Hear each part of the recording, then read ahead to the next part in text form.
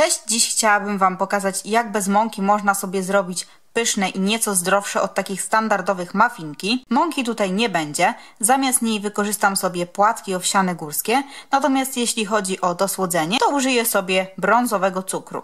Ja dodatkowo, aby było jeszcze pyszniej, do środka dołożę rodzynki, a na wierzch zrobię sobie taką polewę z mleka w proszku. Polewę można oczywiście w ostateczności pominąć i zajadać się po prostu takimi gołymi muffinkami, ale z polewą moim zdaniem są o wiele, wiele lepsze. Smakują jakby były z białą czekoladą, a więc jak dla mnie kiedyś czekoladoholika, po prostu niebo w gębie.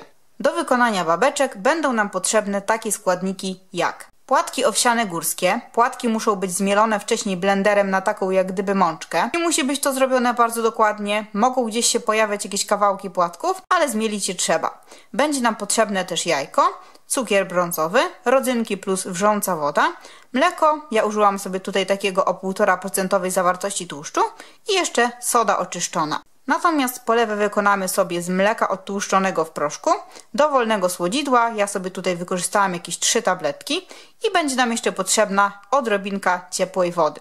Muffinki będę piekła w formie silikonowej, z podanych proporcji wychodzi jakieś 6 babeczek.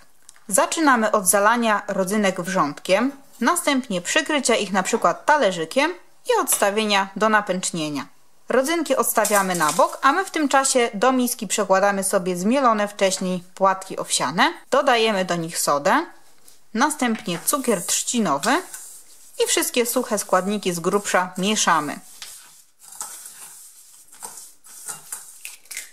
Teraz wbijamy jajko, wlewamy mleko i znowu wszystko mieszamy.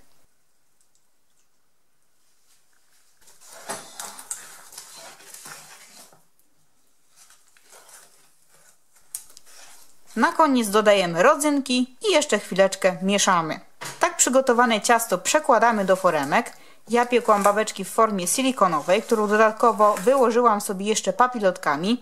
Jeśli używacie formy silikonowej tak jak ja, to polecam Wam przed wylewaniem ciasta do papilotek tę formę włożyć do jakiejś zwykłej foremki do ciasta i razem z nią wsunąć do piekarnika, gdyż może być Wam ciężko ją donieść w całości do piekarnika, bo będzie się po prostu gieła na wszystkie strony i w związku z tym ciasto może się Wam powylewać. Wstawiamy teraz babeczki do piekarnika nagrzanego wcześniej do 180 stopni Celsjusza i pieczemy jakieś 15 góra 20 minut. U mnie było to około 17 minut. Po tym czasie babeczki studzimy i na takie wystudzone przygotujemy sobie teraz polewę. Słodzidło rozkruszamy na przykład łyżeczką, następnie wlewamy do niego troszkę wody, aby się rozpuściło i dolewamy je do mleka w proszku. Teraz dolewamy jeszcze wody dotąd, aż nie osiągniemy konsystencji takiej polewy. Gotową oblewamy nasze muffinki i voilà, gotowe. Tak jak mówię, babeczki wychodzą pyszne. Świetnie sprawdzają się na przykład w takich sytuacjach, kiedy nagle mają się pojawić jacyś goście, a w domu nic słodkiego do poczęstowania nie ma. Ich przygotowanie, tak jak widzieliście, nie wymaga nawet użycia miksera. Bez problemu wystarczą nam dwie rączki i łyżka. Mam nadzieję, że przepis Wam się spodoba. Jeśli tak, to poproszę o łapkę w górę. Trzymajcie się ciepło, skuście się koniecznie na takie muffinki. No i do zobaczenia kolejnym razem w kolejnych filmikach.